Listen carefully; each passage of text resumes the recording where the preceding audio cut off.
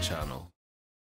So the famous three-sum problem video is here. If you've watched the previous video of the series, you will recall me saying that during an interview, the interviewer will most probably start by asking you about the two-sum problem and then scale up their question to the three-sum problem. So if you have no idea what the two-sum problem is, I strongly suggest you check the video linked in the card above before proceeding with this one. Okay, the classic three-sum problem starts with an array, just like the one you see. Your task is to retrieve the three elements stored in this array such as they sum to a given target value. The result is guaranteed to be unique. So in this example with a target of 100, our result will be the list of numbers minus 13, 22 and 91. The first trivial solution that comes to mind is three nested loops. These loops will allow us to iterate over every single possible three-number combination found inside the array and check if these elements add up to target. If they do, we return them as our result, and if not, we keep on searching.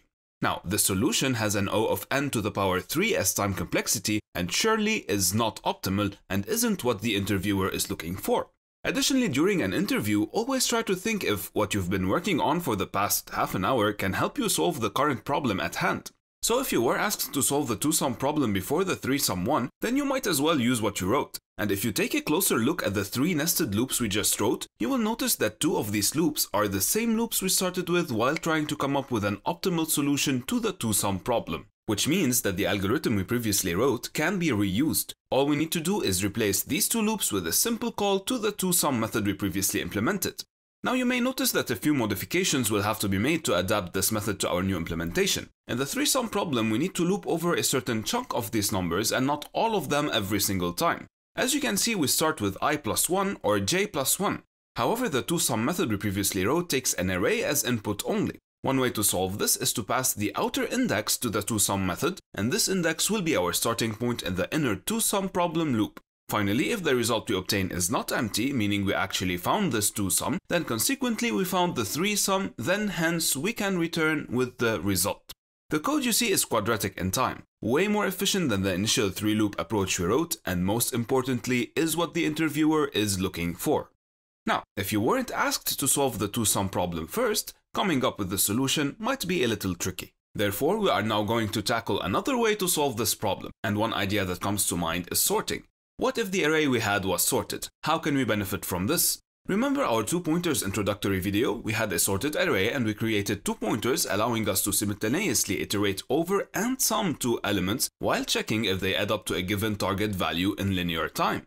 Well, we are going to do the same thing, but with three pointers instead of two. So let's take the same array we initially had as an example, and the first step is to sort the array. Then we will have to declare three pointers, left, middle, and right. For each iteration, we will fix the left pointer and apply the same two pointers algorithm we just saw on the middle and right ones. Meaning we will keep either increasing the middle pointer or decreasing the right pointer based on the sum of the values sitting at left, middle, and right.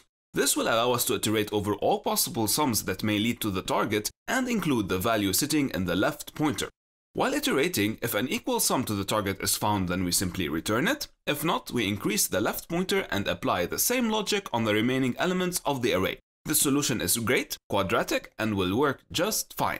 However, if the question states that the given array may contain a lot of duplicate numbers, then instead of incrementing or decrementing one slot at a time, you can skip ahead with while loops as you can see in front of you. Okay, now if you check the LeetCode problems linked in the description, you will notice that they're not exactly like what we just solved. LeetCode asks us to return several possible sets of numbers instead of just one. You see on LeetCode the answer is not unique, and additionally the target is fixed to zero.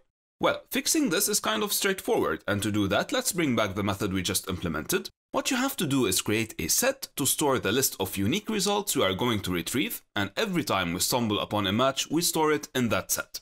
On top of that, if the target is fixed to 0, we need to remove the target parameter and replace all its occurrences with the number 0. And that's it.